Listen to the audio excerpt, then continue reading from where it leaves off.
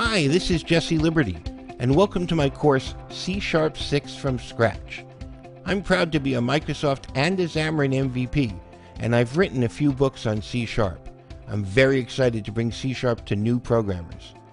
C Sharp is one of the most popular languages in the world, and with good reason. It offers tremendous power and flexibility while protecting you from many of the pitfalls of other languages.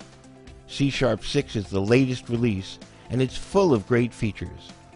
In this course, we're going to start at the very beginning and work our way up through intermediate and even advanced topics. Along the way, you'll learn a good bit about best practices and how to create solid C-sharp programs. Some of the major topics we'll cover include basic programming and constructs, classes and objects, events, LINQ, and much more. By the end of this course, you'll have a solid foundation in all of C-sharp and be ready to go on to more advanced topics.